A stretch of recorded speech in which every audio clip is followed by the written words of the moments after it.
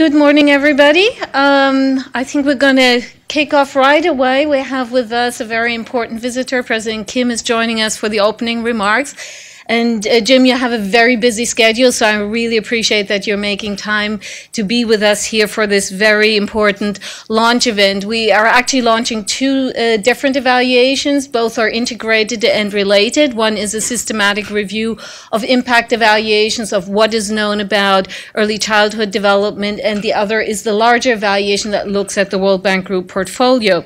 Uh, all of you would know how important early childhood development is. It is uh, important for us as individuals. All of us have children, grandchildren, nieces, nephews, so we can all relate to the subject. In addition, uh, early childhood development is essential for uh, human development, is essential for humanity as a whole, and an incredibly important ingredient for achieving sustainable development goals or the twin goals of the World Bank Group.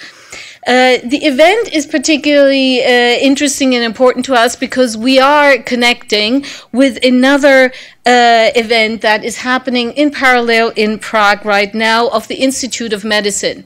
Just like IEG, the Institute of Medicine is committed to generating evidence and bringing it to the attention of the uh, policymakers, private sector practitioners, and they are meeting in Prague right now to talk about reaching and investing in uh, children at the margins.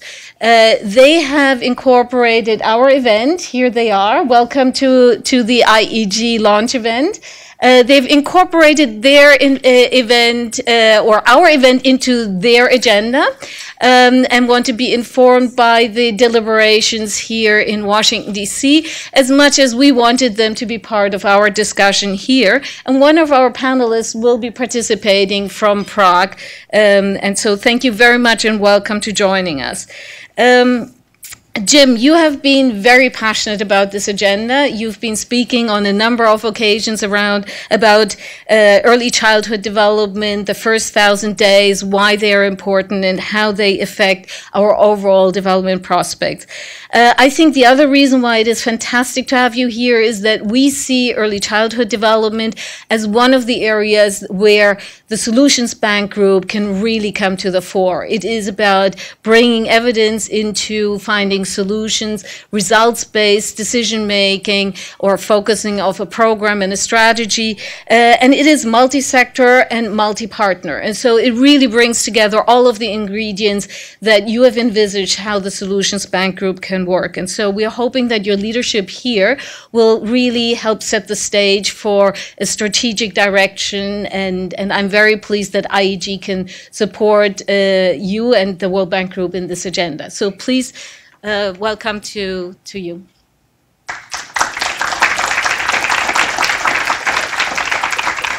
Uh, thank, thanks, thanks very much, Caroline. And I, I, um, I'm very glad to have online our friends from the Institute of Medicine, which now I think will be soon or is now called the National Academy of Medicine.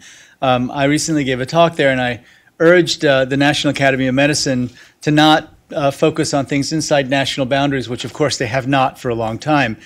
Uh, you know, this is an issue that has been um, uh, very much on my mind and on my personal agenda uh, for a very long time. And if you if you think about uh, the most um, fundamental issues of justice and fairness, uh, we know now that uh, without proper nutrition and also proper stimulation, that the disadvantage that um, children under five are left with is literally that the number of neuronal connections that they have are fewer. And so um, these children, uh, while some of them who are uh, stunted early in life end up doing very, very well, uh, they start off with a fundamental disadvantage. And I don't think there's any way that we can talk about uh, that which we all embrace, which is equality of opportunity. We, we have found that historically it's been very difficult to legislate equality of outcome. But the one thing that we all believe in is equality of opportunity. And you cannot talk about equality of opportunity existing in the world when 25% uh, or more of all children in developing countries are stunted. So uh, the great thing about stunting is that there's a clear measure uh, of it. And the even better thing about it is that we know more and more and more about how it works. One of my good friends at uh, Harvard University um, that I learned so much from, Jack Shonkoff, uh, the Center for the Developing Child, uh, the, the research that has now been done that shows that in children who are stunted, in children who are in these high stress environments, the high levels of, uh, of cortisol actually change the way that genes are expressed. So the impact of, um, of uh, stress and the impact of, uh, of the stunting uh, exercise actually gets to the genetic level. It doesn't change your gene structure, but it changes the way your genes are, are actually expressed, is my understanding. I, again, I'm not an expert on this. And so it struck me that we know so much about this. Uh, the question is, are there ways of, uh, of attacking it? Uh, are, there, are there ways of making it better uh, that actually work? And I just came back from Lima, uh, Peru, um, where uh, in, in a period of just eight years, they cut their stunting level in half. And the World Bank Group, many of you probably in this room were involved in that project. And, it, and I asked people, well, how, how was that done? And it was a matter of getting them to stop the things that they were doing that were not effective, to focus thing, on the things that were effective, and then applying a P4R, our sort of results based financing approach. And I was so incredibly encouraged. And now, all of you, how many of you in this room were involved in that project? I see some. Thank you for your work because I am now um, uh, screaming these results to everybody because the notion was, oh, stunting, geez, this is impossible. How are you ever going to make progress on it? And it just, it, it seemed to me that it offered such tremendous hope.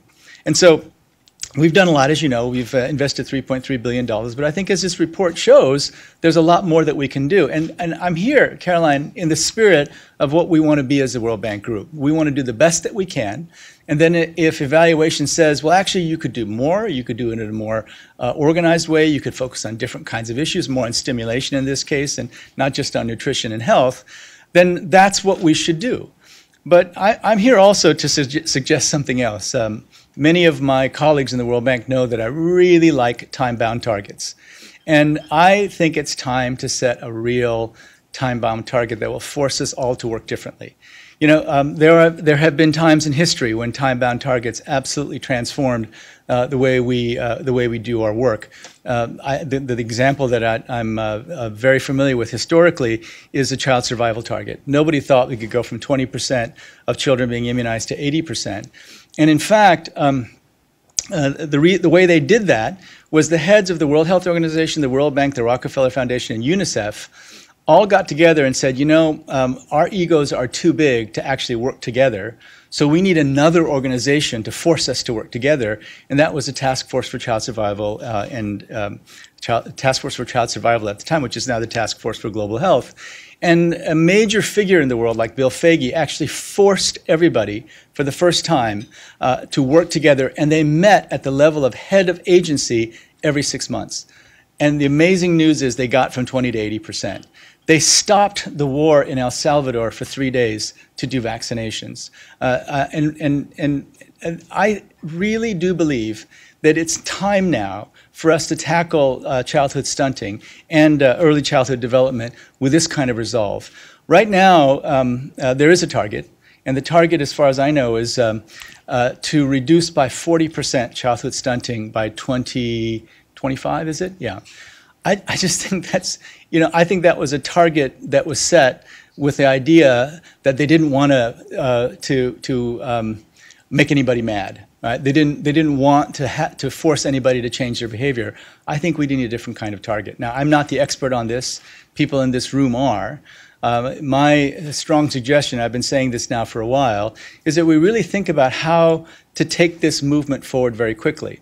You know, we began working uh, just uh, about a month and a half ago with UNICEF and the Novak Djokovic Foundation, and it struck me that we've never had, you know, the number one tennis player in the world, someone, you know, very few people know who I am, but everyone knows who Novak is, who's ready to take on uh, advocacy around this issue in a way that we've just never had before. I mean, he, uh, he grew up in war-torn Serbia, literally had to practice tennis in in swimming pools because they had, firm, they had, they had strong enough walls so that if they were bombed, he wouldn't be killed. And he tells me that he's ready to lead the charge. And there are others as well. Shakira, the famous singer, who I learned, I learned what her name was because she was interested in ECD. And, and, and people like that people like that who are ready to step up. I think that this can be a movement, that this can be a movement uh, like the child survival movement. And, and by the way, there's nothing that, uh, that I mean, there, there, there's, uh, there's no way that we can get to 2020, 25, or 30 and feel good about ourselves in terms of, in terms of having um, uh, worked to end extreme poverty and boost shared prosperity, our twin goals, if we don't tackle this issue. If we still have 20, 25%, you know, hundreds of millions of children stunted, we cannot look at ourselves in the mirror and honestly say that we've done everything we could to create the kind of equality of opportunity that will lead to a world free of poverty in which prosperity is shared by all. So uh, I'm very glad to be here. I'm very glad that um, uh, this evaluation was done. I'm very glad that uh, we have th- such a such an illustrious panel here to talk about what to do next. But I'll leave you with a challenge and that is um, how can we uh, set a standard for ourselves? How can we hold all of ourselves accountable so that we do something the world's never seen before, which is start a movement that um, uh, uh, gets to children, that uh, even tackles uh, uh, the very high cortisol levels that exist in situations of conflict and violence. Can we set ourselves a target so that in 2020, 2025, 2030, we can step back and say we have done everything we possibly can to make sure that every single child has an equal opportunity in life. That's got to be the goal. And um, there are so many tools now that we can bring to bear that I have great faith uh, that we can do it. I will continue to support this. I will continue to talk about it, but I need the guidance from every all the experts in the room to tell us where to go. Uh, we can do this, and I hope that our generation is remembered for not only ending extreme poverty, but for creating a situation where everyone truly has equality of opportunity. Thank you very much.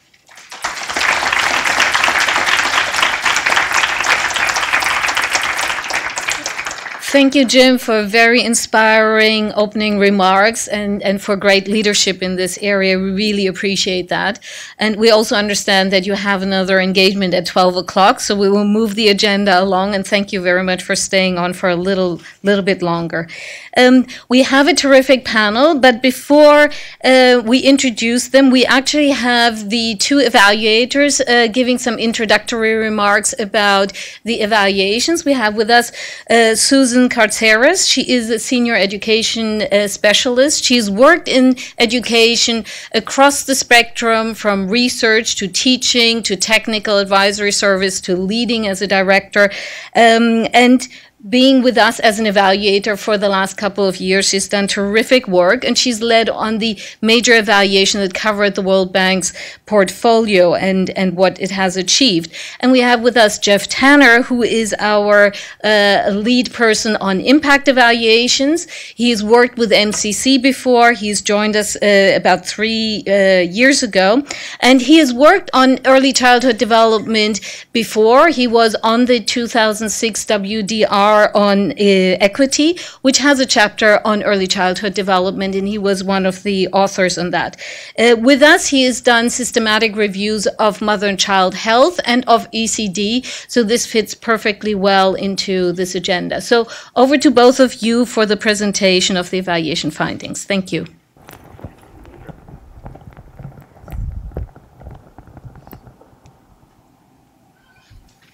Thank you, Caroline, and thank you, President Kim. Jeff and I are absolutely delighted to be here and present to you in DC, Prague, and others listening in the world about our joint evaluations, our, our complementary evaluations that IEG has completed on the topic of early childhood development. Our purpose in presenting is twofold. First, we want to highlight joint findings coming out of both evaluation to frame the discussion that the panel then takes forward. And second, we want to highlight some areas that need to be strengthened because absolutely everybody here knows how important this topic is and what a life altering impact can have for children. What we're going to do is first talk about what we did, some findings, and implications. The evaluation that I led looked at the bank's support from between the years of 2000 and 2014. We knew that this was an evaluation that needed to be grounded in country context and so utilized for our predominant source of data 16 country case studies with a range of implementation experience from the longstanding Jamaica engagement with the bank to recent engagement in Mozambique. From that, we triangulated uh, a portfolio review that was identified based on the definitions of the bank's essential interview, interventions for families and children, and utilized, as you can see on here, a list of other sources of data, such as corporate, sector, and country strategies. We looked at the data of who worked on all the projects, and then finally, we also conducted uh, analysis of 20 systematic reviews of early childhood development interventions because we wanted to answer the critical question was the bank designing interventions, its operations, to have a likely impact on children's development? During this, we identified a gap that we asked Jeff to fill. All right. Thanks, Susan.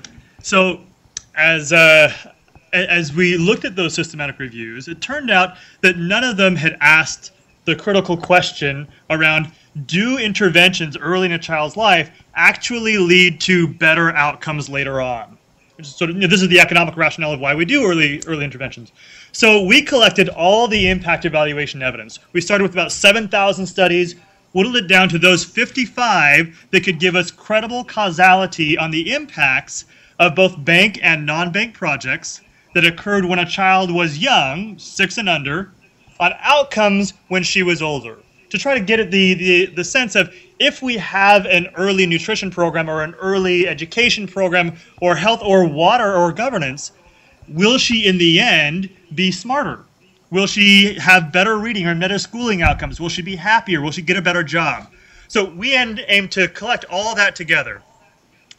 And so it, to so these two reports now have uh, we're going to present three findings that they have in common. There's more in there, but the three that we have in common we think are especially relevant and germane for this audience today.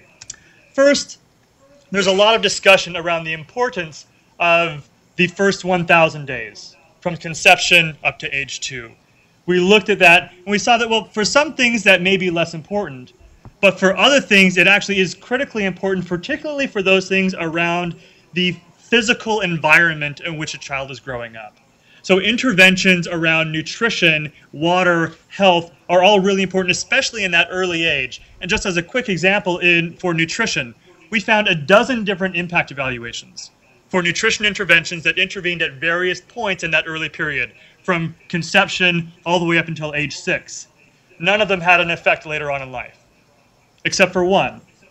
The INCAP Sustained Nutrition Project in Guatemala was the only one that did. It was also the only one that had sustained nutrition throughout the entire period of zero to age three. So we take that as strong indicative evidence that we really do need to sustain throughout this entire period and not just piecemeal going in and out with various micronutrients and other sorts of things. We find something similar in healthcare in this uh, Safe Motherhood Project in Indonesia, where those children who benefited from having access to healthcare at zero to three had significantly better math outcomes, schooling outcomes, and even cognition than those children who benefited from that exact same program, but at three to six years old. Now, we looked at the bank's emphasis on children for those under three, and it, we found that only in the Latin American region was children under three consistently emphasized to develop their broader aspects of development beyond health and survival. And this was consistently shown through across sectors. What did we see in the other regions? Well, typically, we saw the broader aspects of development addressed through pre-primary. Well, what's wrong with that? When you consider that the early learning of children, about half of it is complete by age four, and the bank's work within pre-primary has predominantly emphasized five and six year old children. So it's a late entry point. What did we see within the Latin American region? Consistently across the countries, we saw them utilize the entry points of which you're going to find the young children in three immunization, growth monitoring, conditional cash transfers, childcare. And they coupled this with behavior change or parent information to maximize the impact. This wasn't observed in the other regions, and two reasons might be governments in the Latin American region are committed to the topic and have had longer relations with the topic, as well as the human resource data and the reports by the staff also showed that they teamed across sectors more so. Our second joint message is that we believe the bank can do a better job supporting parents and families. For me, it was a surprise in seeing, when you consider the strength of evidence coming from Jamaica and other, other countries, that this intervention was not more broad based in its support. When we did see it, three quarters of these programs are operated within the Latin American region. This brings some questions to mind, like why hasn't this spread across broader regions? These programs were typically offered by education sector and social protection we didn't see much offered through health and nutrition. Yet the literature typically couples nutrition and parent support. Parent support, though, is not just the parent support programs, it's also other interventions like screening for disabilities, childcare, maternal depression screening.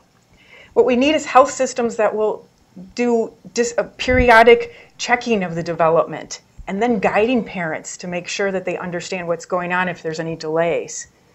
When we looked at projects that were working on women's economic empowerment, the number one constraint is childcare, yet we didn't see this being simultaneously addressed. This offers great potential for the synergies to be established between the bank's work in early childhood development and the gender work to work on these early entry points. Thanks, Susan. So we, we found complementary messages when we looked at the impact evaluation evidence. So, and parent support really is critically important, almost across the board. Where there was really good parent support, there seemed to be better outcomes even later on in life. Um, and this is true. We'll, Susan Walker is here. She'll talk about the uh, the Jamaica experience a little bit later. Um, but that's a, a, wonderful example of how intervening early in in working with children. By early stimulation, we mean reading to them, talking to them, interacting with them, playing with them all of those uh, types of interventions that we, we parents know to do, but they might not know quite how to do it or in the best way to do it. Um, but similar things with healthcare, teaching them how to take care of the health or the nutrition of their children. These things really do tend to affect child, children's growth trajectories later on. In fact, based on, on Susan's work and, and others uh, in Romania and elsewhere, it looks like this is affecting not only their intercept of, of where they are and their growth trajectory, so they're not doing only better at every period along eh, over time, but that gap is actually growing. So it's also affecting their slope. So these children are now doing better at age 6, at age 12, at age 20, and better and better and better still than those than a group of similar children who did not have the project. On our last joint finding, we think the bank could probably do a better job of more strategic engagement in its operations and in gathering evidence. And so in the evidence gathering, we note this map here.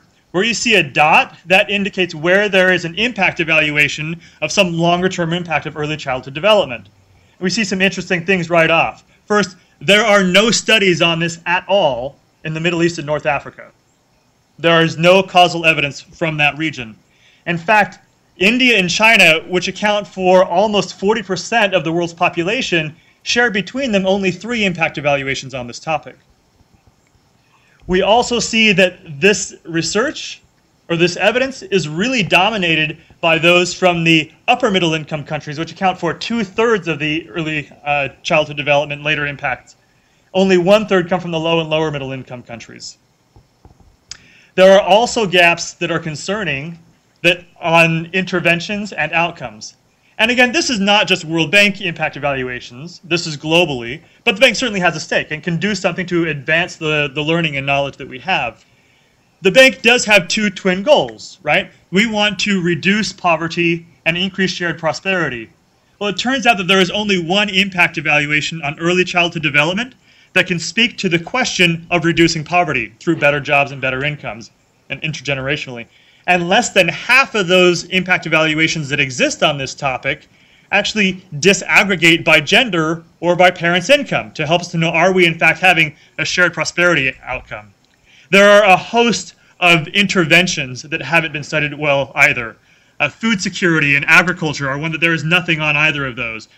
Also, there's only one on sanitation, water, or hygiene interventions for each one of those there's very little evidence on the long run benefits to children for some really common interventions for mothers. Things like nutrition counseling during pregnancy or prenatal visits.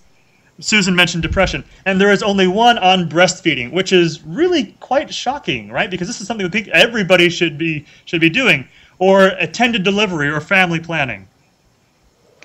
Strategic is also about where the bank engages. You would expect to see the bank to be engaging in countries that are the most high risk.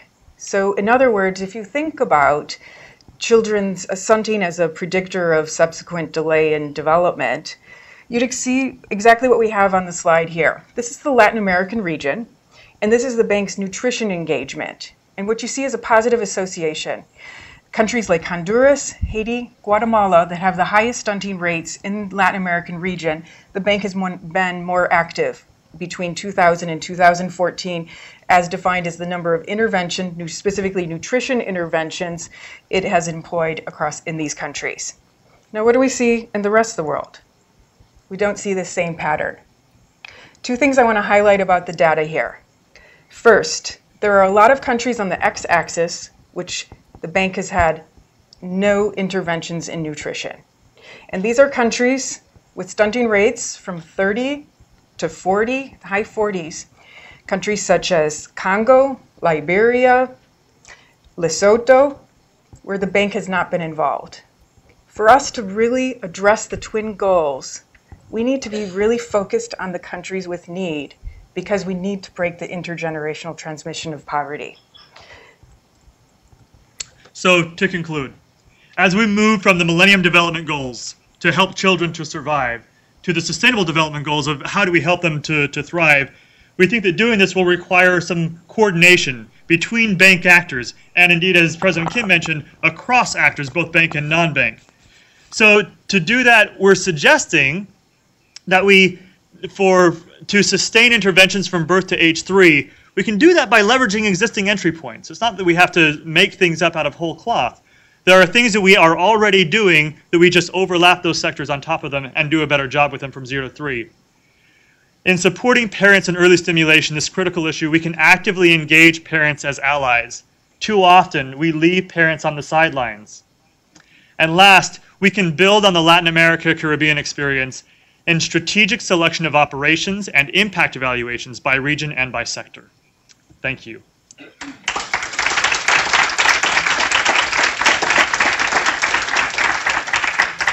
So you've heard what we did and some of our findings from it. We're now going to move to our panel discussion. We have some fantastic experience and, and folks coming in.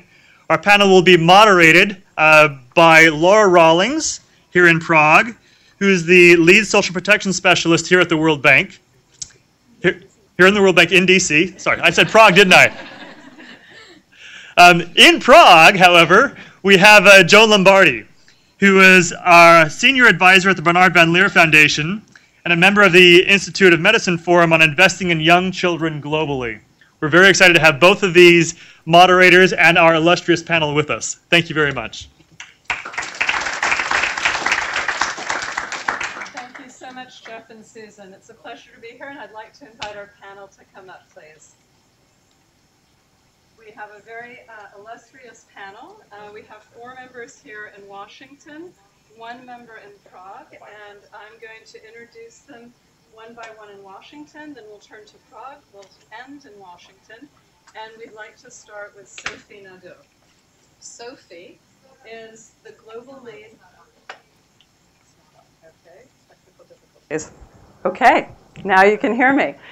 So I'm Laura Rawlings. I'll be joined by Joan Lombardi in Prague, and we are delighted to have our distinguished panel with us today, with four people here in Washington and um, uh, a member also Kofi Marfo in Prague. We're going to start in Washington, turn to Prague, and then end in Washington. And I would like to start with our first panelist, who is Sophie Nadeau. Sophie is the global lead for early childhood development in the World Bank.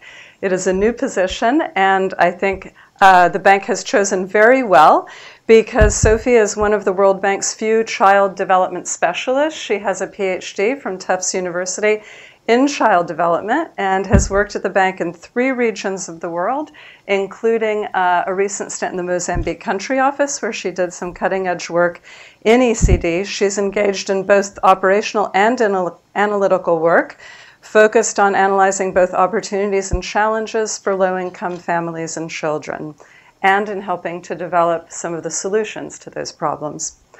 Prior to joining the World Bank, Sophie has field experience coordinating non governmental programs for refugee children and youth in post conflict societies, including in Bosnia, Guinea, Sierra Leone, and Cambodia. So she is extremely qualified to be leading this work. So, Sophie, a question for you. The conclusions and recommendations coming out of the work that Sophie and Jeff had led have important implications for the World Bank's own engagement in early childhood development both with respect to our operational work and our analytical work. As the person leading the World Bank engagement in ECD, can you tell us about how these conclusions and recommendations from the two reports speak to our work? What's on the agenda for ECD today in the World Bank? Thank you. Thank you, Laura. Should I uh,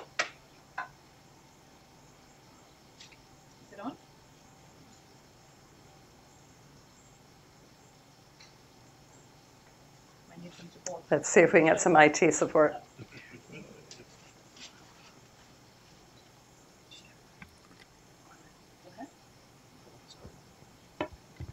On? Yes. There we go. okay. Thank you very much, Laura. And thank you, Susan and Jeff. Really, I wanted to start by congratulating both of you for uh, this tremendous uh, study. In fact, those two studies. They are very timely for, for two reasons, at least. Uh, one is that, as you know, we now have an SDG target. Our president referred to it not only for nutrition, but for ECD as a whole, target 4.2, which for the first time looks at ensuring that quality ECD interventions are available to all children worldwide. The findings are also very timely because, as you heard from our president, we have a renewed vision and energy in the World Bank Group to really put ECD front and center in not only our human development agenda, but really our World Bank Group's agenda across the different sectors. So with that, how do we do this? How do we, uh, in the next 10 to 15 years, uh, really scale up ECD investments in a way that levels the playing field for all children, and by addressing, including by addressing some of the very important recommendations that came out of the study? Well, our vision really uh, is nested in four pillars and four interconnected pillars. The first one is advocacy and knowledge generation and knowledge sharing. We have done quite a bit in the World Bank uh, to generate new evidence and to translate the findings of existing evidence in a way that resonates with policymakers, including ministries of education, health, social protection, but also ministries of finance. We have created new evidence through impact evaluations in low income and middle countries for the first time in the last 10 years. But we can do more we can ensure that we go to the countries where the ECD needs are the greatest. So we really uh, tackle the challenges there. And uh, we can make sure that we continue to fill in the gaps, uh, the knowledge gaps that continue to exist.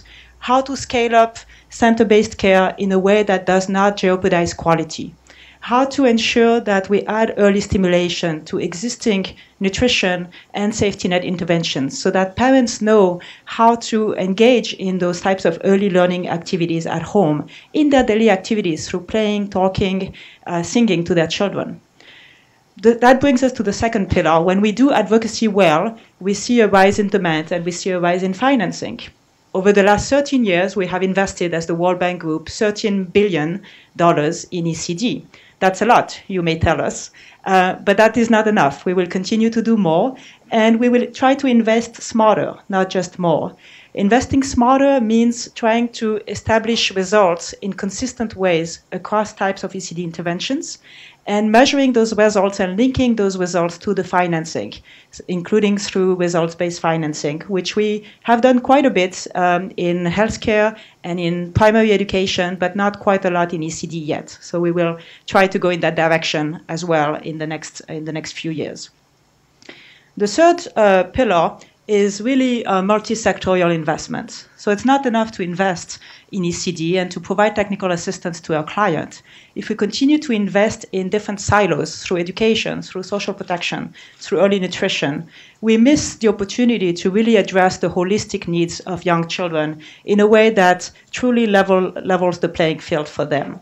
How do we do that? Again, it's about uh, finding the innovative solutions to reach children and parents directly in their homes or in the services that they already utilize through healthcare, through growth monitoring, through safety nets, to also inform them at that point about the importance of early stimulation, the importance of early learning. But we can go also beyond human development. In the World Bank Group, we have the IFC, which is key in uh, developing um, public private partnerships, or not so much private necessarily, but non state partnerships with non state actors, which are critical for scaling up ECD.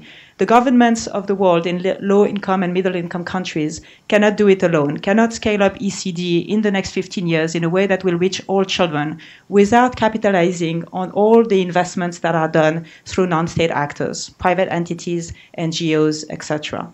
We can also work clo- more closely with my neighbor here, uh, representing the gender group uh, in the World Bank. Uh, from the gender perspective, there's a keen interest in promoting uh, female labor force participation. And from our side, we are interested in promoting quality center based care. There is an obvious uh, opportunity for synergies, and we need to capitalize on that more. And finally, the fourth pillar of our strategy moving forward for the next 10 to 15 years is really to measure the longer term impact.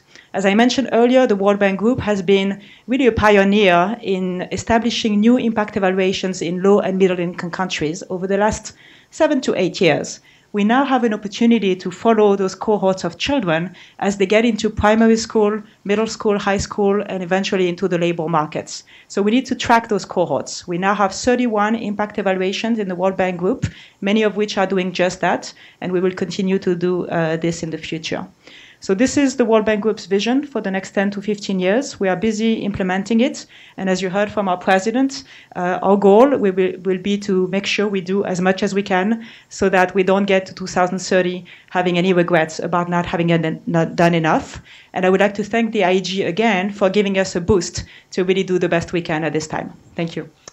Thank you. Thank you so much, Sophie. Now we will turn to your neighbor uh, on gender issues. So Caren Grown is the Senior Director for the Gender Cross-Cutting Solutions area at the World Bank. Uh, she is an internationally recognized expert on gender issues and development and holds a PhD and MA in economics from the New School of Social Research. Prior to joining the bank, she was economist in residence and co director of the program on gender analysis in economics at American University, and she also worked at USAID, where she crafted the agency's gender equality and female empowerment policy. She has held distinguished positions at Bard College, the International Center for Research on Women, and the John D. and Catherine T. MacArthur Foundation. So, Caren, uh, let's turn to the role of parents in early childhood development. You are the senior director for the new cross cutting solutions area in the World Bank on gender. Can you share with us your insights into how to leverage support across sectors for parents? How can we mobilize these cross cutting solutions from education, social protection, health and nutrition, and perhaps other areas indeed, as Sophie was mentioning, to support parents in their primary role as the main influence in the development of their children? Thank you. Um, so thank you, and it's great to be here today. And I also want to congratulate the IEG for this uh, these two reports. I, I read them both, and I learned a lot. And I think that you have some really important recommendations, not just for the bank, but for our partners um, in this work. Uh, let me start by just mentioning that um, the World Bank Group uh, is doing its first ever for the World Bank Group. That means that it, incorporates the IBRD, the MIGA, the IFC, its first ever since 2001 strategy for gender equality. And this will be launched at the end of this year. And I'm really pleased to see that there's a very strong alignment in the strategy between the emphasis um, by our colleagues, uh, not just in the education global practice, but in social uh, protection and health. And there's a huge alignment on the early childhood agenda. And I want to say a few things about that, that from my perspective, taking away taking away from the uh, IEG findings and the gender strategy what we can think about doing um, going forward. Um, the first is um, I want to pick up on this um, observation about sustained interventions between zero to three, and this is an area that was almost a missed opportunity in the past for the bank. And to do that, we have to focus. Uh, as you rightly suggest, on a few things. Um, and the first is on parenting. Um, I, I, think we have to break down parenting, though. Uh, parenting involves mothers and fathers.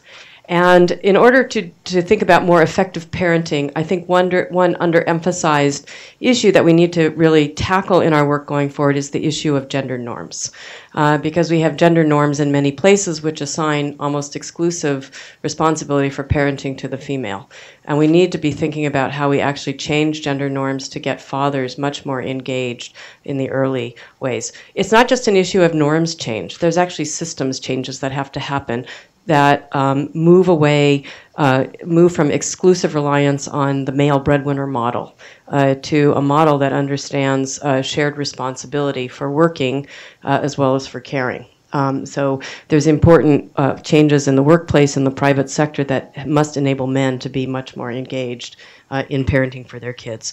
Um, and I would say um, we have good examples of emerging models, and uh, you emphasize the Latin America region, and we have really good examples through organizations like Promundo um, and others, which are really working with men to get more involved uh, in this space. And that's important not just for caregiving and stimulation, but including things like nutrition interventions. We assume that because women feed families, they're the ones we need to give nutrition information to. But in many parts of the world, if we're going beyond Latin America, uh, men may sometimes actually control expenditure and household budgets, and they need to understand the importance of nutrition in their children's lives.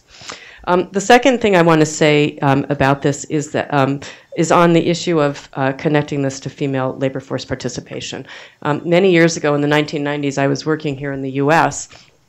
Uh, on this agenda, actually, and it, and I think this is still the case, and I think it's more the case uh, as well in the countries that we work in, where early childhood is really disengaged from the issues of female employment, and we really need to bring and think about how we connect some of these these dots um, in terms of uh, addressing the quality of care, but also the, the availability um, of services, where they're located, the financing, and so forth.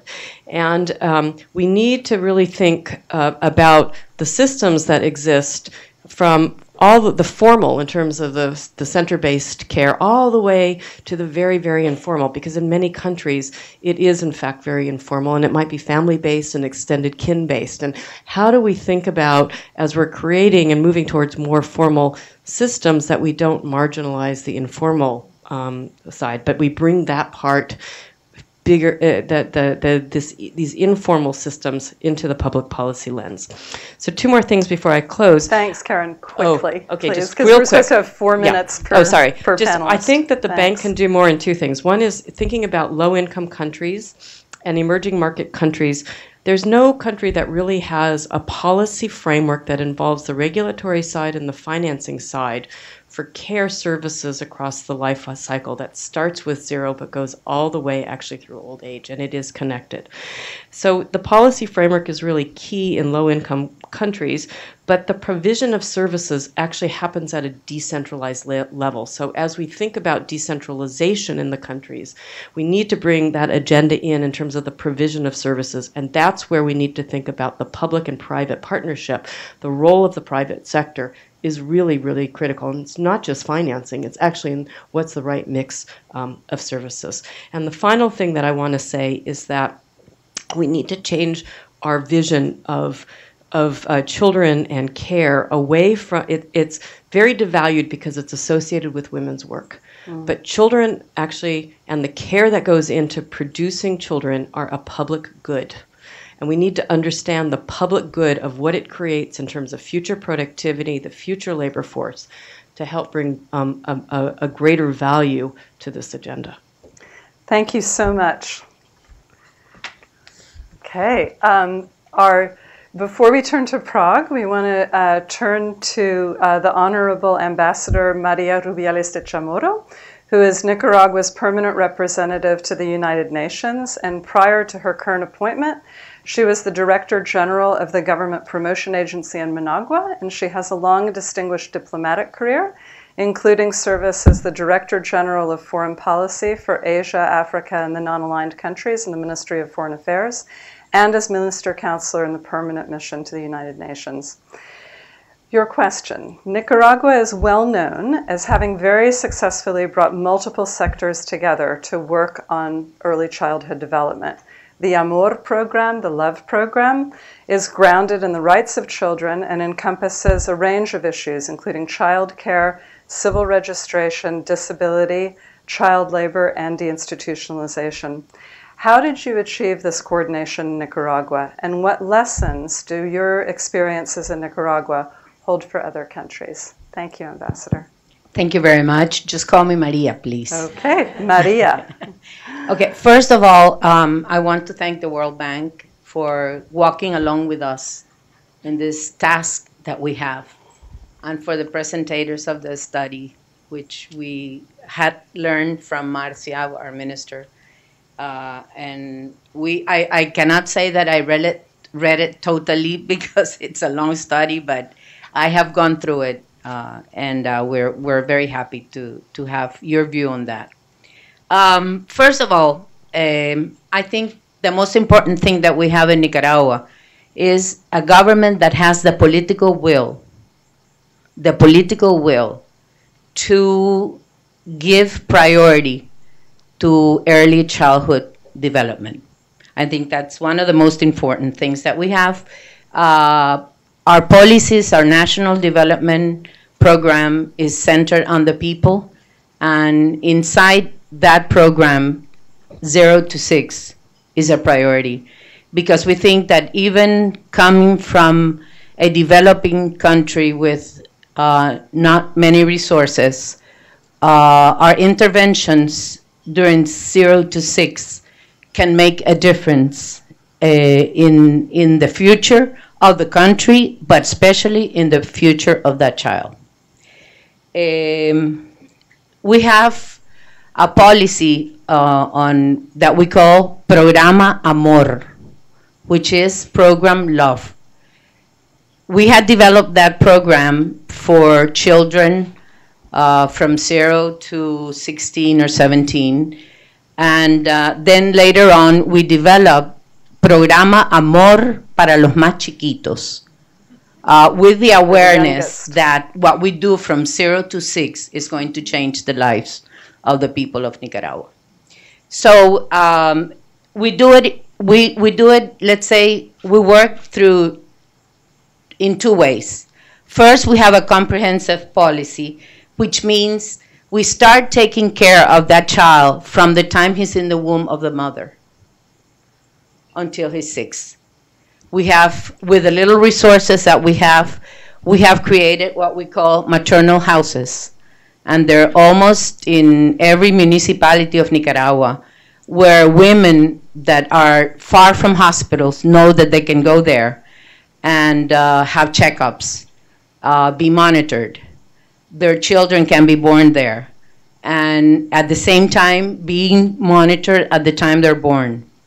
So that's something I think very important. Then, um, after, after, this comprehensive policy uh, goes all the way till the child is six years old, it takes into account vaccinations, uh, health monitoring, uh, the development, um, sports, culture, all the issues that go around the life of a child. The center of that policy is the family. We're a, a very family oriented co- uh, country, and we believe that it is the family, it is in the family, the nest of love that you can give the children. That's very important for us. That's Then- great. I'll, I'll let you wrap up quickly. Okay, please. I'll wrap Thank up you. quickly. Then I wanted to talk a little bit about the multi-sectoral um, uh, part of the policy, which takes into account the Ministry of Family, Ministry of Health, Ministry of Education, and the Ministry of Social Well-being.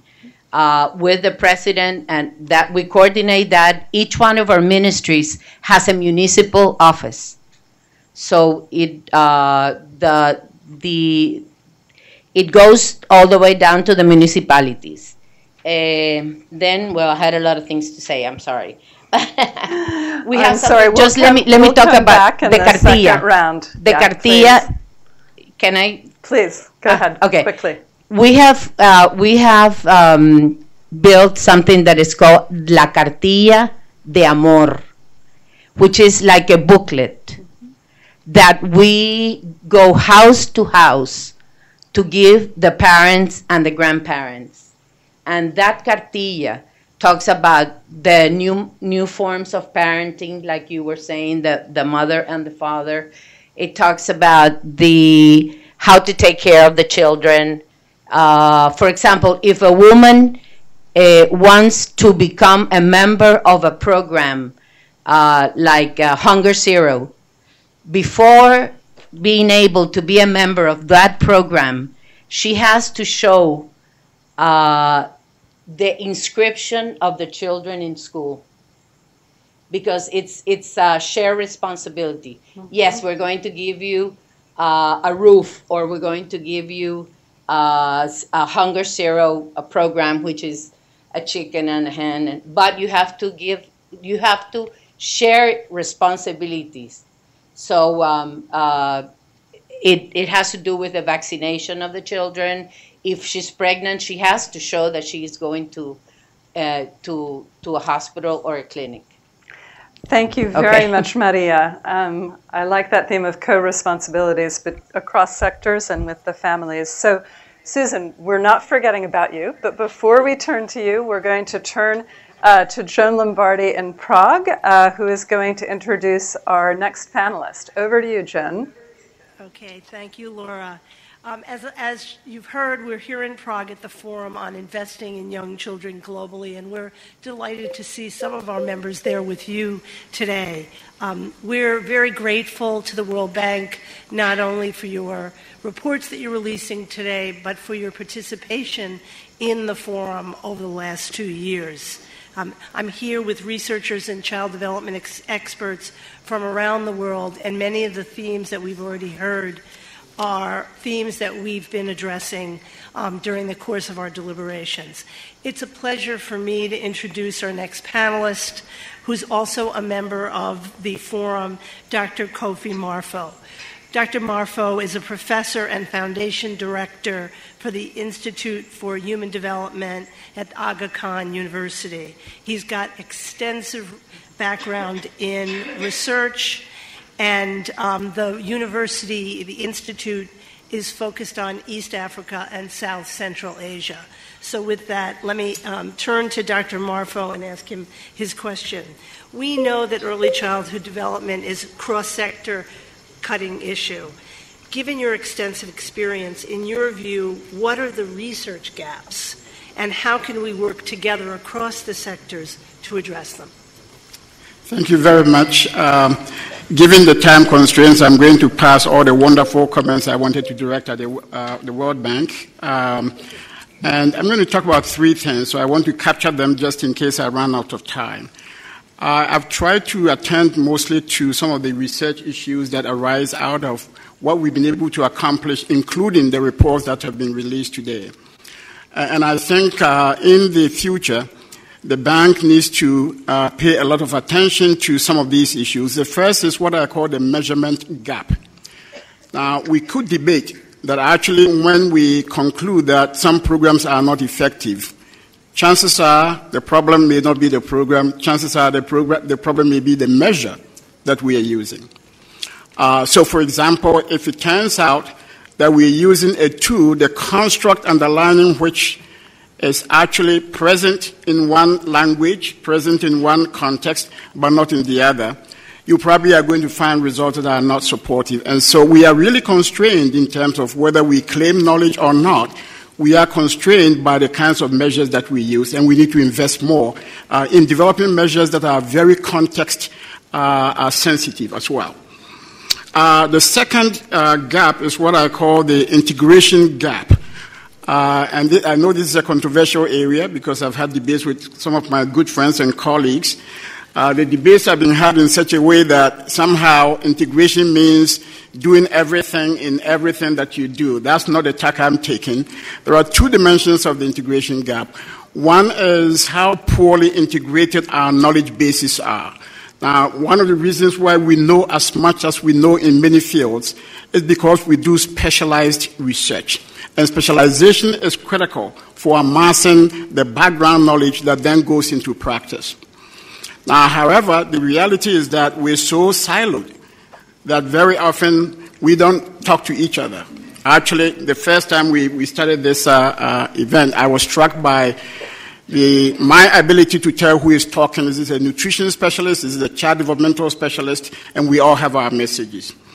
Uh, but there's also the second part of uh, the, the gap, which is what I call the policy sensitive cross sector integration gap. And that's probably the one that we are more interested in today, uh, because it turns out uh, we academics can criticize governments for being so siloed. The Ministry of Education and Health, they don't talk to each other. But actually, what I said earlier on is also illustrative of what happens in the academy. We don't talk to each other. Now, so what's the solution? What is the recommendation I want to make to the World Bank? Is that we need to invest in the kind of research that actually encourages uh, groups of researchers from across disciplines. Right now, there's a lot on survival, there's a lot on health. Uh, actually, there are some countries that don't even want to fund ECD programs. They want to fund maternal neonatal child health. That's not a bad thing, but I do think ECD is very important. We need to integrate. Now, so imagine a scenario where groups of researchers from across disciplines are looking at two communities, one in which interventions have been designed to actually consist of multiple dimensions of what children need to survive one in which services are already happening, but they are being delivered by wonderful organizations that have a lot of trust. What if this uh, cross disciplinary team of researchers are looking at survival issues, they're looking at uh, nutrition, they're looking at psychological stimulation, they're looking at all these things. So at the end of the day, you end up with a range of variables that currently are sort of siloed in different disciplines. But once you have that wide range of variables, the data can be made available to researchers from anywhere. Those who are interested in looking at single variables can go at it and look at their single uh, variables. Those who are interested in looking at the combined effects of multiple factors can also do that. I think our field is lacking in the breadth and depth that we need to have to be able, able to sort of take these reports and actually uh, work with them. The final gap is what I call the outcomes gap, and, and that's one I wish I had time to, to really sort of uh, focus on. The, the, I think most of the research you know, tends to focus on what I call the cognitive, linguistic, and school-related kinds of variables. They are all wonderful. I want my children to be very intelligent and uh, be language savvy and what have you. But I do think there are other areas that we are not looking at. And I will, I will try to make the point towards the end that actually, in an era where there's so much strife around the world, we have to begin to ask ourselves what is missing in our construction of child development? What is missing in our construction of early childhood development? What is missing in our construction of socialization? Now, is it possible that some of the things we need are actually how to nurture children into these compassionate, caring individuals who realize that the social good is very important and that they have at stake their own role in making the social good happen. Now, just, just one example. So there are, there's more to development than the kinds of variables that we've uh, uh, sort of looked at over and over again. And the fact is that research tends to sort of repeat itself over and over again. So one of the things we need help for funding agencies to get us out of is to be able to think much more broadly, to reconceptualize the range of outcomes that are important out there. I've been struck by research studies looking at the importance of reading and asking parents in a rural village who, where they do not even speak English, they haven't had schooling. And the question is, do you read to your child? And you get low percentages of parents reading to children. But the reality is, in some of these cultures, the socialization is not the parent driven socialization where you talk of parent, mother, and father. It's socially distributed. So the child who is not read to by the parent actually may be read to by siblings and other people in the family. So if all the data you have is the parent reading part, you're going to underestimate how much reading the child is exposed to. And at the end of the day, I don't think it is who reads to the child, it is the amount and quality of exposure that the child uh, uh, uh, is exposed to. Uh, so these are some of just a few of the ones I wanted to highlight, and, and maybe we can all get together and write papers. Thank you very much. Thank you. Uh, that was great, and thank you for that challenge of looking at compassion as an outcome. Over to you, Laura. Thank you very much, Joan. So we're going to wrap up this first round uh, with uh, Susan Walker, who's the professor of nutrition. I think we have an echo. Can you turn off in Prague? Thank you. Professor of Nutrition and Director of Tropical Medicine Research Institute at the University of West Indies in Jamaica. Susan, uh, many of us know you. Susan, she was saying, Why are you welcoming me? Because we're delighted to have you. Um, we are giving her a very warm welcome. She's a renowned expert in child development. She leads uh, the Child Development Research Group, as I was saying, at the University of the West Indies, whose work in developing low cost approaches to early childhood development has been critical in providing a model for and driving global attention to the importance of early stimulation for children under three.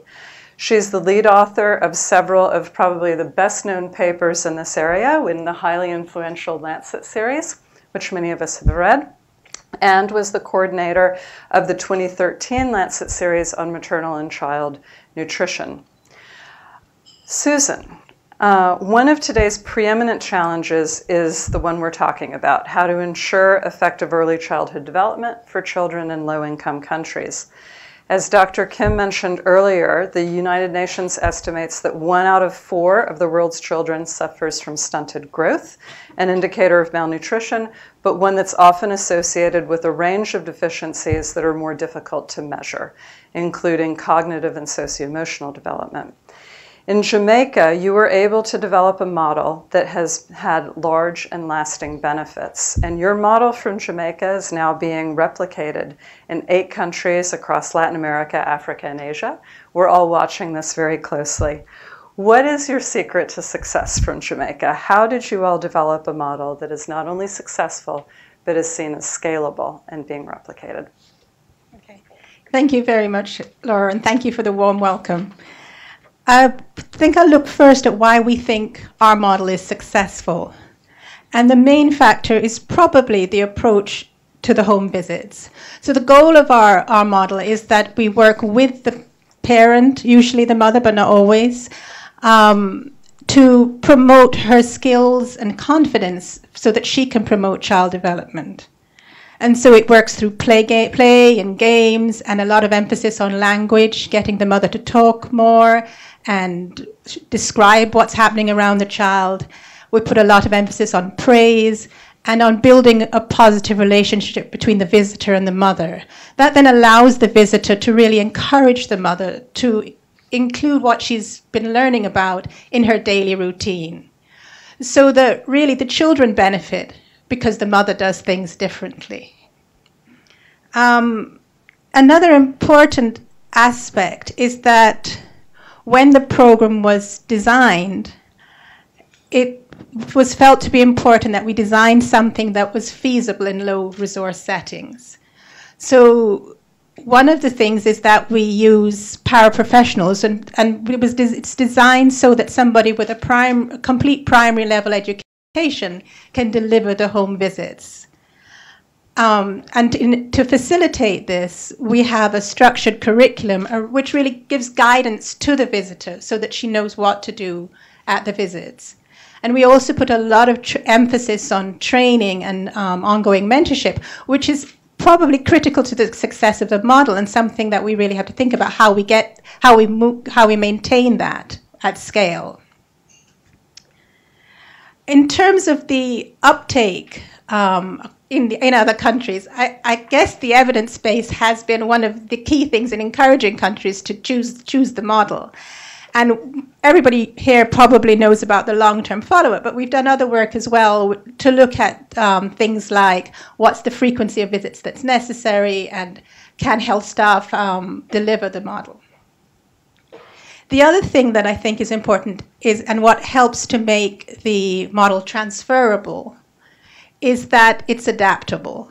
So it, it's very inclusive. We seek out um, games and songs and activities from the local setting to see how that can be included in the curriculum. Um, we also, the materials are also adaptable, so the things like the simple books and so on that we have can be can be can be adapted.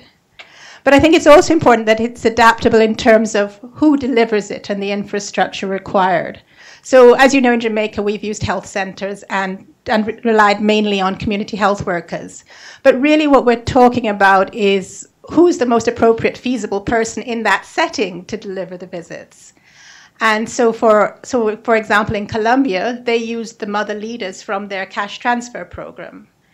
And um, in a replication that we're just beginning with, it, with the team there is uh, has decided to they already do preschools, and what they've decided to do is to base the intervention in preschools and to reach out from the preschools with the community volunteers who work at the preschools to visit families with children zero to three. So that's a new model that we're really excited about and, and to see how it works.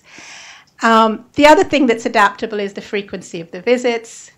Um, so we've tended to use weekly, but it can be delivered fortnightly with benefits, which is a big thing in terms of scaling up to be able to reduce the frequency of visits.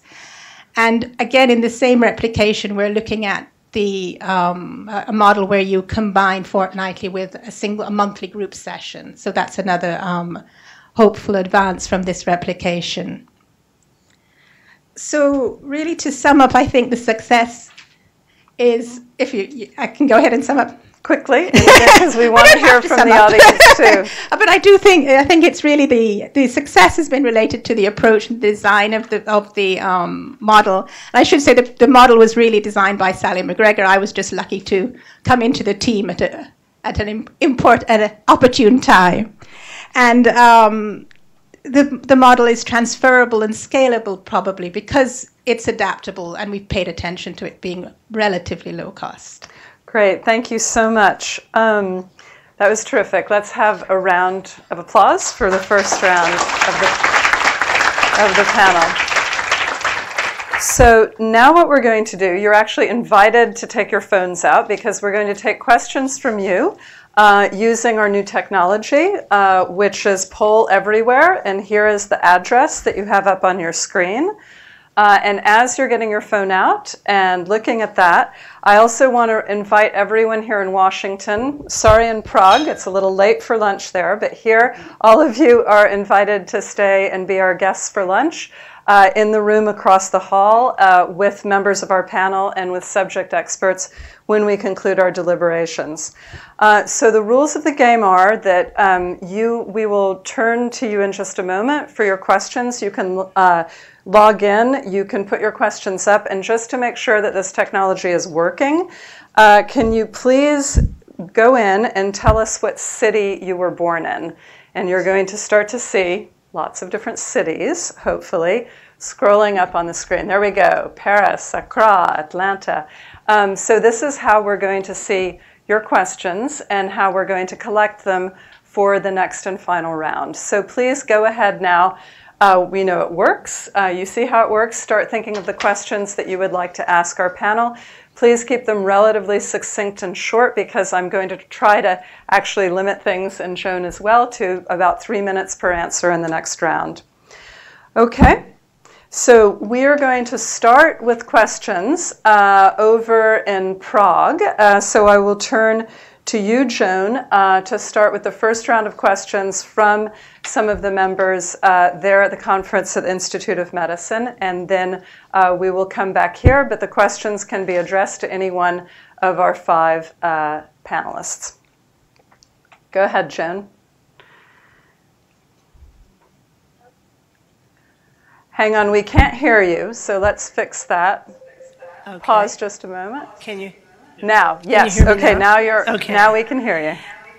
Thank you, Laura, and I want to encourage everyone with us here in Prague to also be logging in with additional questions. But here are the first two questions. How can the bank support research that investigates the quality of multi sector services? In other words, the implementation, not just the impact. So that's one question. And the second is how can the bank um, better support leadership development, not only at the global and national level, but at the subnational level. Okay, Joan, do you want to direct those to any particular panel members? No, they were directed um, to the two speakers from the bank or anyone else on the panel. Okay. So, implementation and not just impact. Sophie, do you want to kick us off?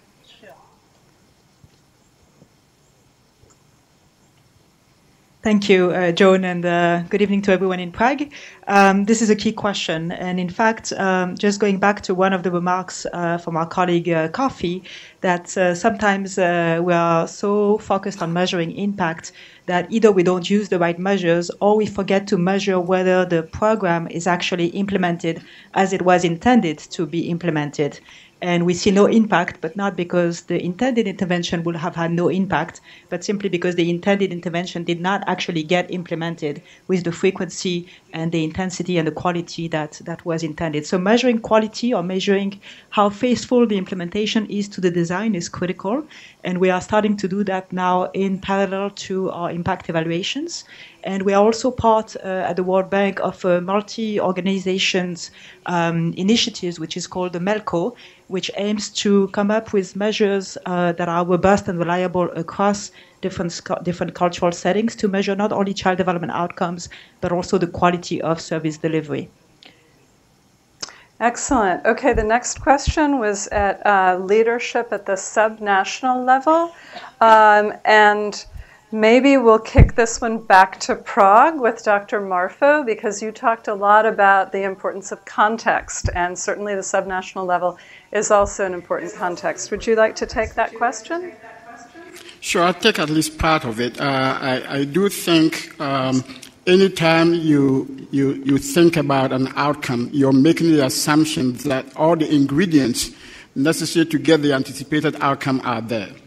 Uh, and in, in many parts of the world, even the capacity uh, for professionals to be able to think about you know, the nuances of delivering services, let alone evaluating, is very, very important. So, so one of the, the, the, the dimensions of uh, uh, leadership, uh, at least in the area of research, is trying to build capacity at the local level. My sense is as we think about evaluation, we think about outcomes, and we think about measures uh, developing capacity at the local level in the individual countries could go a long way in shaping the kinds of outcome studies that, that we conduct. Okay. Did you want to add to that? Let, let me add Please in on this ahead. on the issue of leadership because I, I, think it's actually really important. And I want to go back to mm-hmm. Uh, I want to go to some interventions that we may not think are really critical, but there's a lot of work that shows that female participation in uh, parliaments and in local governance structures is really critical in terms of changing uh, policy preferences and the allocation of funding. And in those countries where there are quotas or, re- or reservations or set asides, particularly at the local level for female participation, you get a, a leader, a, a, sort of a built-in leadership champion, particularly for this sort of agenda. And so I think it's really important to begin connecting the dots to uh, and reaching out uh, to these kinds of uh, constituencies. Uh, and I think it's not just in the political structures, but the bank actually can do more to present to to uh, develop leadership within the governance mechanisms that we ourselves are creating and ensuring that we have the right kind of participation of males and females in those governance structures.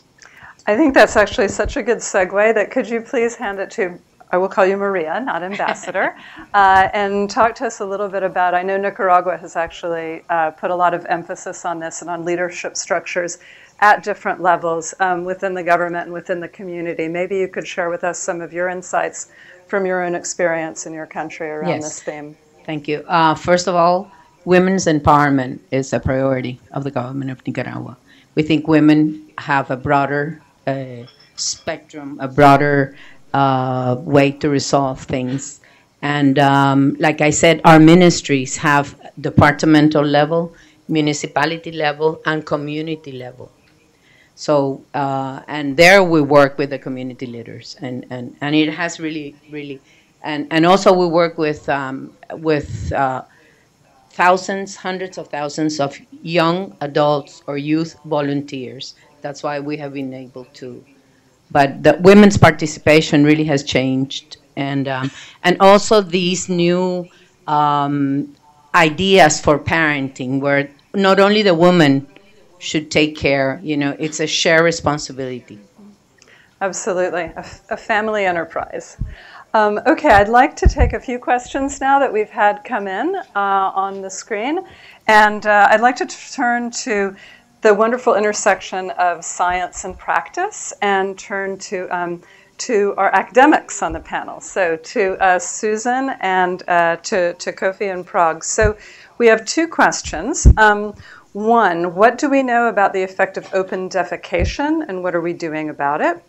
And the second, um, uh, from one of our online uh, participants from Peru, who I hope enjoyed the annual meetings there. What effect have prenatal vitamins had on newborn height, and what does this demonstrate about lasting changes in stunting? So, uh, Susan, first to you.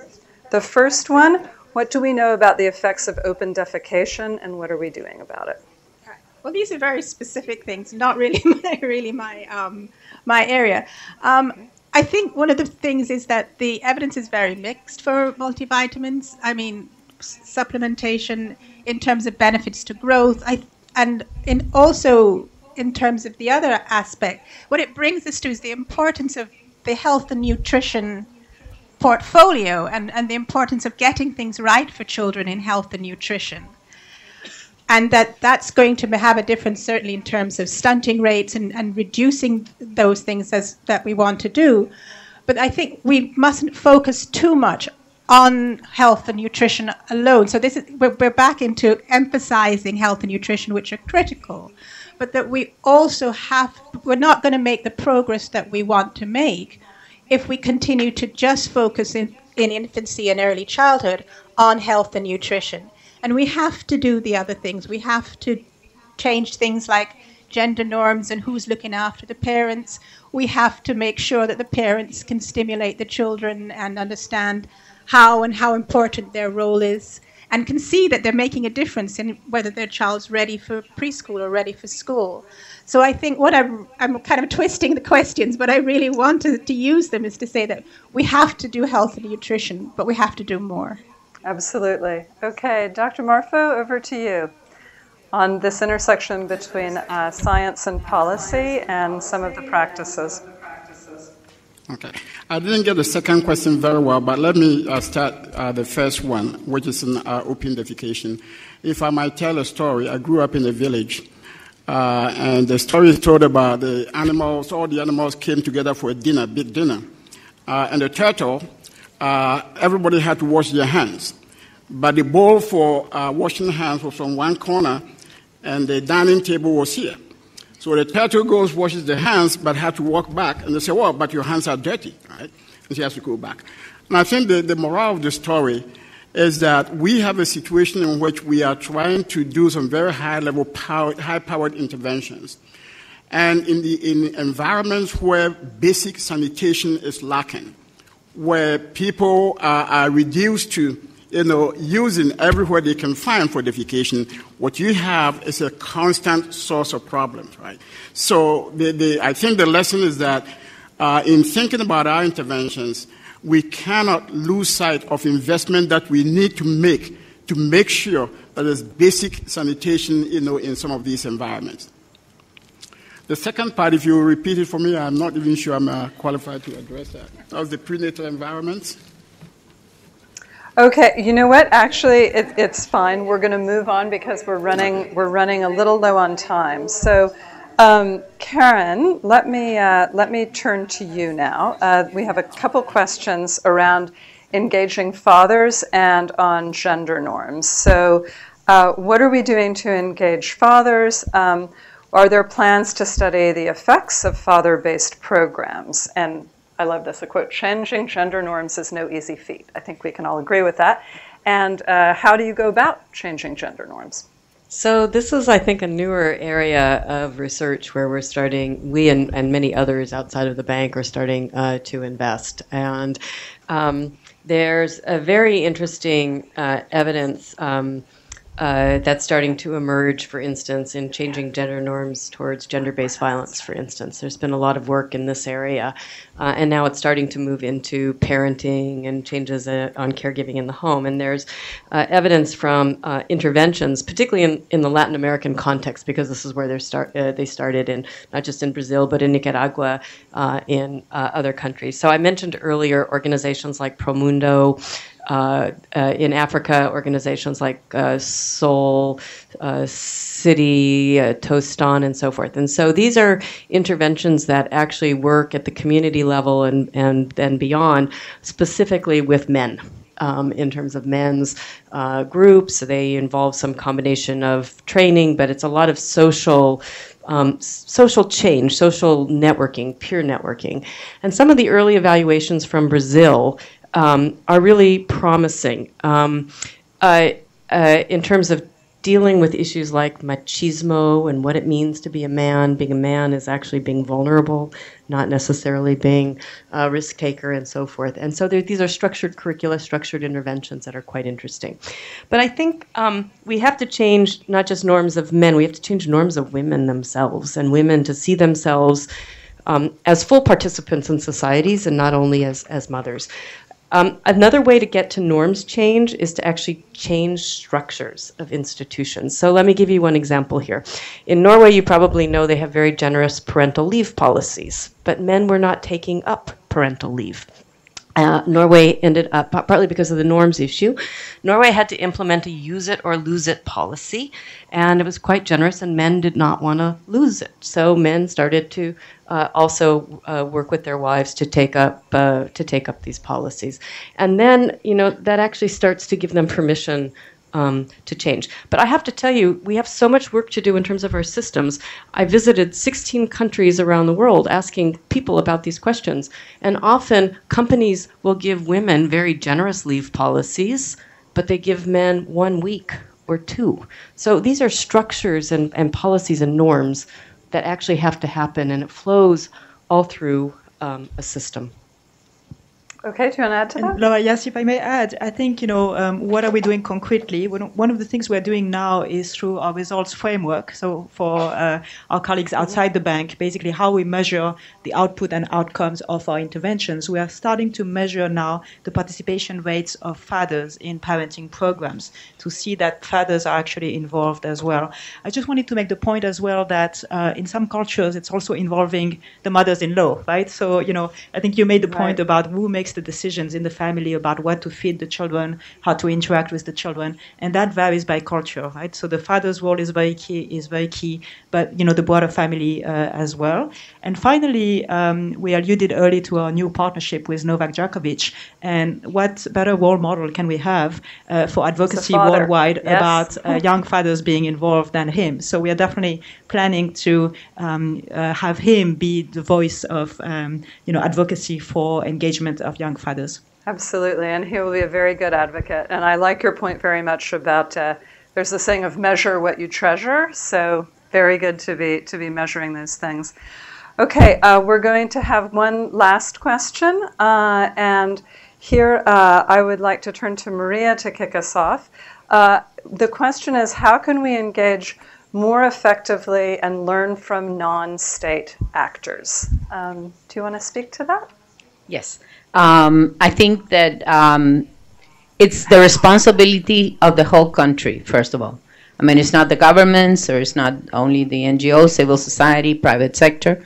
Uh, we have an experience in Nicaragua where, um, for example, uh, we have this tripartite dialogue uh, where we sit government, unions, and uh, workers and um, private sector and private sector. I'm sorry, and it, we tackle the problems together.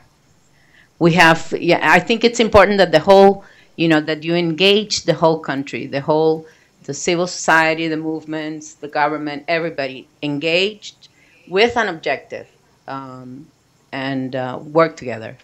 Excellent. Dr. Marfo, do you want to add to that about engaging non state actors? You had talked about the roles of many people in different contexts. just a, a, minor point, but to focus on the reality that in, in many contexts, you know, the government role can be very, very limited. Um, and, and very often the dilemma is that either governments do not realize that they have a responsibility, you know, to the entire nation. Um, and, and so being able to see uh, the, uh, the community as a whole beyond government structures itself as a critical part of what we do is, is very, very important. Uh, I think there was a time, uh, especially in many developing countries, where there was an effort to get large sort of uh, groups of people involved in educating them, their own communities, cleaning up their own communities. And actually, that period, unfortunately, has been lost as we come into more and more of modernity and governments have taken more and more of a local role, and yet at the same time, governments are checking out of social programs, especially as they see uh, non-governmental agencies, you know, come in and take some of these roles. So there, there is a, sort of a contradiction there uh, that societies need to, to address. How it's not just how governments sort of uh, engage more effectively, it's also how governments learn not to push things over to non-governmental agencies because governments have a responsibility to provide for the needs of our, our families and communities. Thank you so much. So I'll ask Susan to wrap up on this question, and then we will wrap up the panel before we turn um, to our Vice President, Keith Hansen. Um, I think I'd like to mention parents in this because I think some they're, they're, they're an important group in the, in the non-state actors mm-hmm. then that we need to pay more attention to and listen to more and learn from. So, and they, they have a lot to, to let to, to teach us in terms of how would they like their services designed and if we're going to start a, a, a, program in the area, what are the things would work with that would work best for them? But we recently did some work with some qualitative work with parents who are participating in our home visiting model and, and also participating in group in group models So we were interested in what they preferred. And it was very interesting because they preferred they preferred home visiting, but the reason why they preferred it because they actually perceived that the benefits were greater for their children. Whereas in another, and that's uh, something that I think needs to be done in, in country-specific ways because in another in another country, mothers may actually and parents may actually like the interaction of group sessions. Um, so I think we need to start to, while we're talking about who else to be involved is to involve parents. Excellent. Thank you so much. Um, if you'll allow me to summarize, first of all, I would like to congratulate IEG and Susan and Jeff on their terrific work because what is on the agenda today is moving, in fact, from surviving to thriving. And I think we wouldn't be here unless all of us believe that these types of investments in early childhood development are one of the most important and indeed preeminent uh, development challenges facing us today. They're linked um, to many now of the new Sustainable Development Goals. Sophie, you mentioned uh, goal number four about quality education, including pre primary education. But it's also very fundamentally related to the first goal uh, of eliminating poverty because children's development is highly predictive of adult well being and productivity.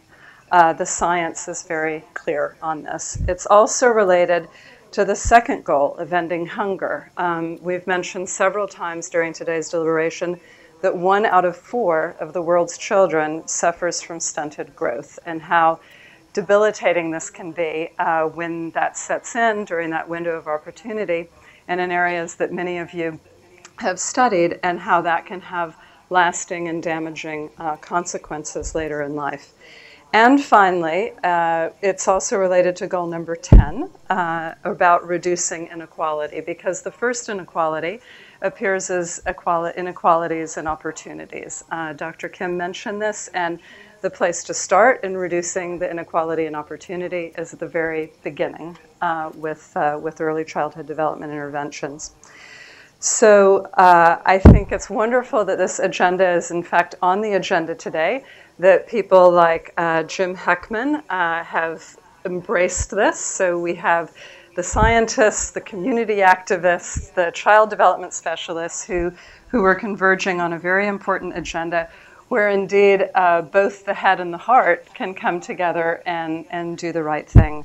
uh, and recognizing that it's not only about core services in health, education, and nutrition, but that it's very important, as the studies and recommendations point out, to invest in children's cognitive and social development and in early stimulation. So, what do we need to achieve this vision that was being set out? I think uh, Dr. Kim actually said it very well. It's about starting a movement. It's about starting a movement to invest early, uh, and that's what our education strategy here at the World Bank says. Uh, the gender strategy, I'm sure, we'll speak to this as well.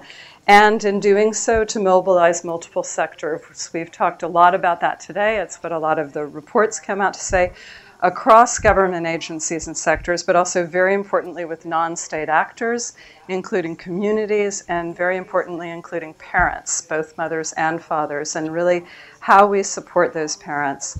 Uh, and finally, uh, it's very important also in these efforts for all of us uh, in the policy community and the research community to build evidence, not only evidence around what works, but what works in the most challenging settings, in low income countries, in poor areas, even in fragile and conflict areas. We have seen that often the evidence is generated from other, uh, other types of contexts, and so we really need to move the investments uh, and the knowledge uh, into, into those areas. So I want to give the panel my thanks. Joan, uh, thank you uh, uh, Dr. Marfo, all the president, all the people present uh, in Prague, uh, and I would like to give everyone a big round of applause.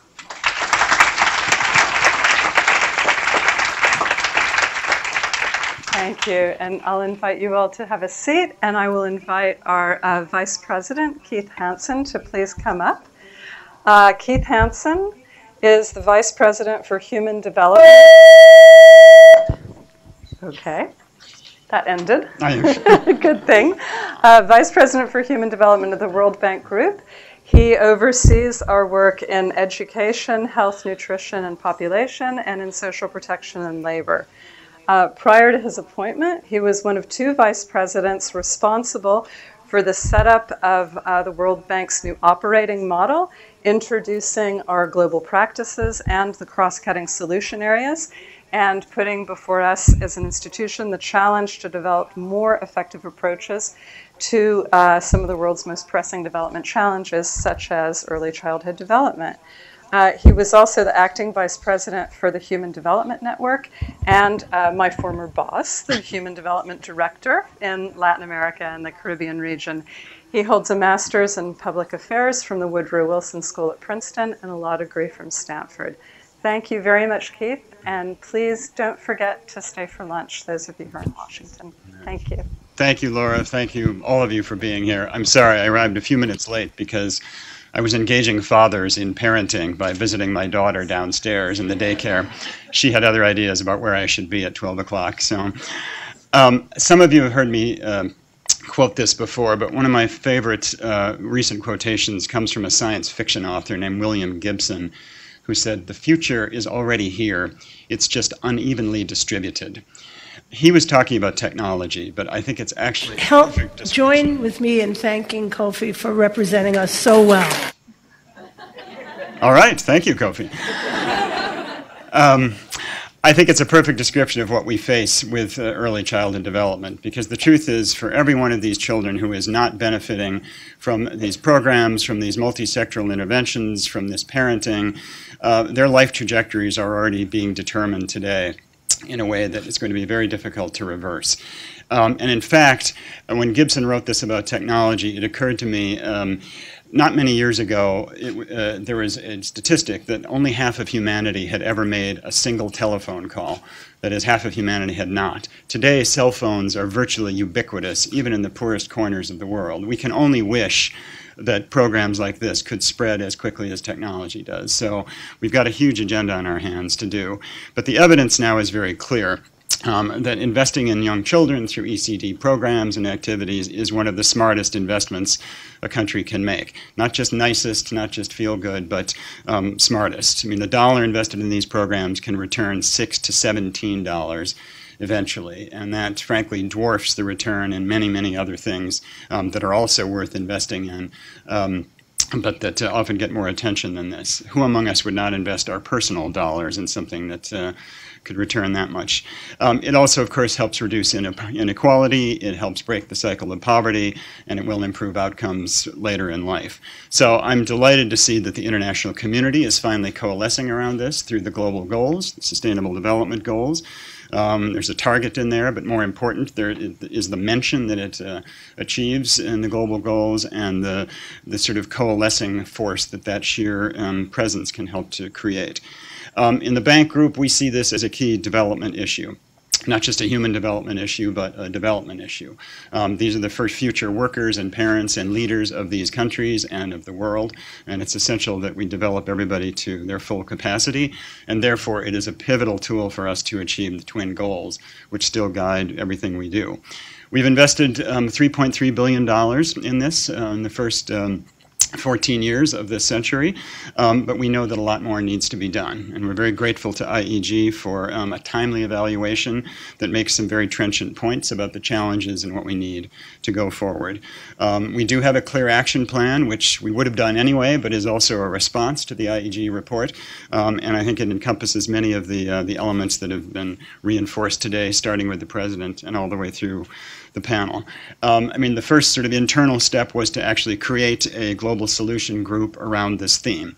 Um, and those of you insiders may recall that one purpose of creating the new operating model was to enable far more um, consequential use of our knowledge through bringing everybody together into these global practices and by working across practice lines. So we have this wonderful multi-practice group now, where Sophie is our global lead, um, that encompasses uh, more than one practice. It's one of the very few we have that, uh, that do that right now, because everybody recognized this uh, as essential. So it's providing leadership, cross-practice coordination, uh, and the program leaders and country offices now have a sort of go-to point um, for guidance and help in terms of responding to ECD programming and country needs. Um, Sophie laid out there are several pillars to this that are important. I'm not going to belabor all of them, but I do want to touch briefly on them. Knowledge generation and sharing is obviously essential. We have to translate the existing evidence and produce new evidence in a way that's going to resonate with the people who make the decisions, above all, finance ministries, but also the other leadership. Um, this cannot just be seen as you know, a, a niche issue of one or two sectors because it really is core to development. Uh, we appreciate IEG's positive assessment of the contribution that the bank has made so far, um, but we realize we need to do a deeper assessment of how and when to scale up ECD interventions while maintaining quality and cost effectiveness.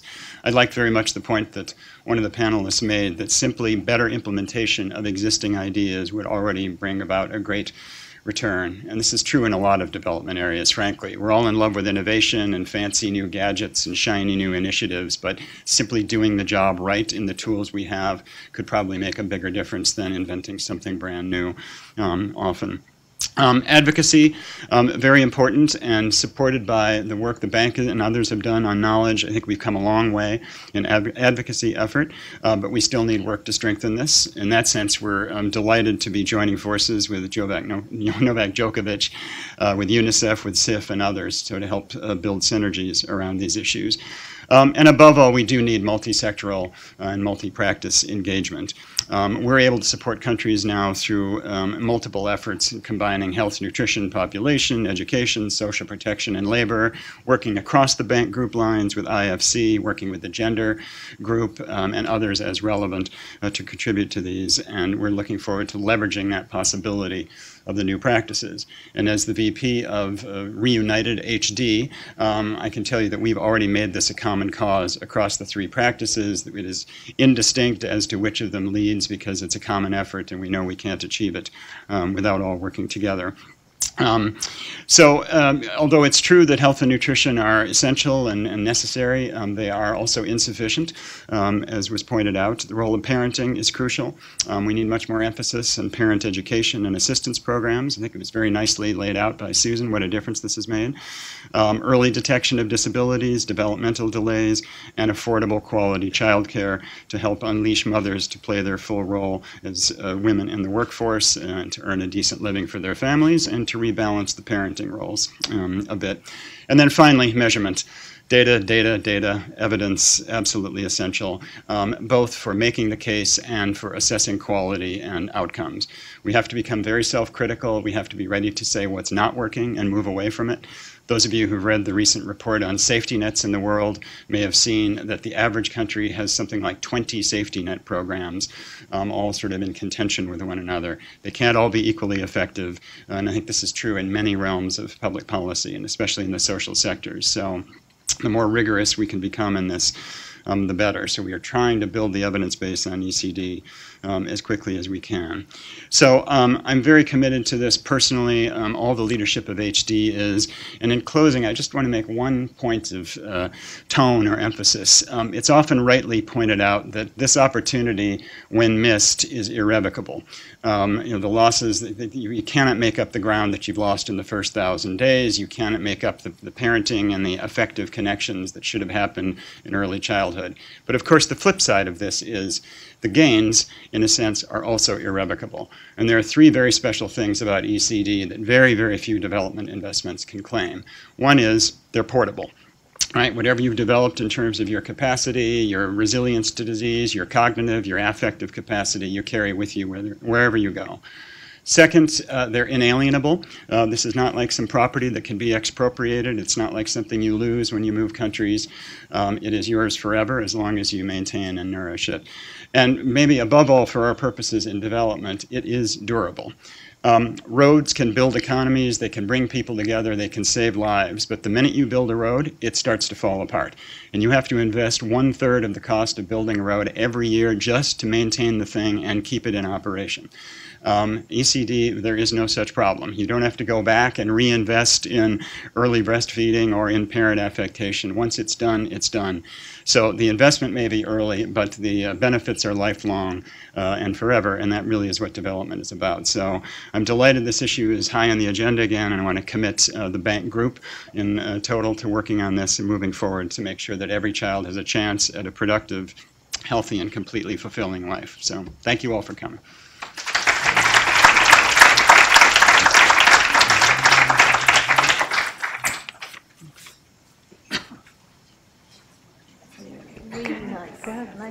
Please do join us for lunch. Yes, please. It's across the hall.